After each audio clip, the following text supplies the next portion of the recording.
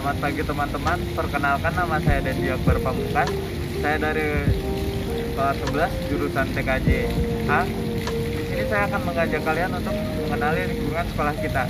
Nah, di sebelah saya ada kelas jurusan Teknik Komputer dan Jaringan. Jurusan TKJ merupakan salah satu jurusan yang ada di SMK Negeri 3 Kota Sorong. Pada jurusan ini, siswa dapat belajar mengenai seluk-beluk komputer, jaringan komputer, dan implementasinya. Salah satu keunggulan TKJ adalah penggunaan metode praktik langsung sehingga mampu menyediakan sumber belajar yang tidak terbatas, penilaian transparan, serta mendidik siswa untuk berpikir ilmiah dengan memperhatikan potensi masing-masing individu. Selamat siang teman-teman kepada guru dan orang tua semuanya. Jadi saya akan memperkenalkan tentang kantor dari sebuah jurusan bangunan di STM ini. Jurusan Teknik Bangunan Jurusan ini mempelajari tentang dasar ilmu bangunan, gedung, dan teknik menggambarnya yang nantinya dapat dikembangkan ke jenjang yang lebih tinggi. Teknik struktur bangunan adalah bidang teknik yang berhubungan dengan analisa desain struktur bangunan, nilai suatu kekokohan, dan kemampuan bangunan untuk membuat beban. Jurusan ini merupakan cabang dari teknik sipil. Selanjutnya kita akan memperlihatkan kejuruan terikonik di SMK Negeri 3 Kota Sorong yaitu teknik mesin.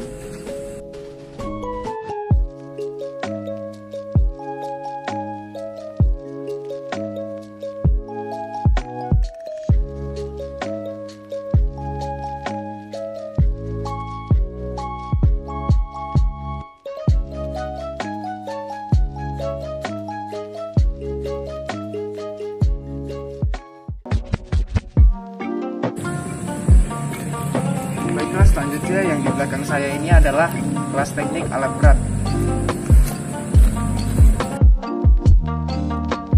Teknik otomotif merupakan kompetensi keahlian bidang teknik yang menekankan keahlian pada bidang penguasaan jasa perbaikan pada kendaraan ringan, mobil, dan sepeda motor.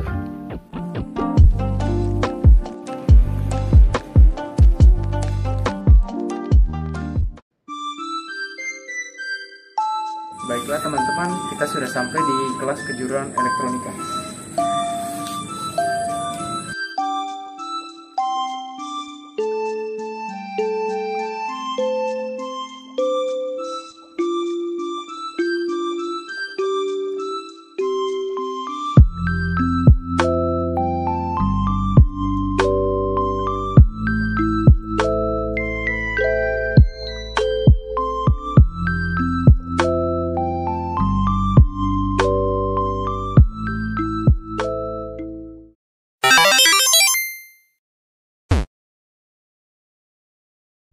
Okay. Oke teman-teman, saya akan menjelaskan selanjutnya yaitu jurusan terikonik dari SMK Negeri 3 Kota Sorong yaitu teknik mesin. Selanjutnya kita akan memperlihatkan yaitu Selamat pagi teman-teman, perkenalkan nama saya Dendi Akbar Pamungkas. Saya dari kelas 11 TKJ A Aksio. Di sini saya akan Baiklah teman-teman, ini adalah jurusan terikonik di SMK Negeri 3 Kota Sorong, yaitu adalah teknik mesin.